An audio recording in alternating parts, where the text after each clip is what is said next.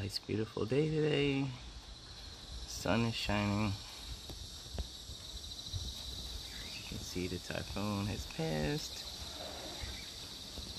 Looks like it didn't even come, but it did.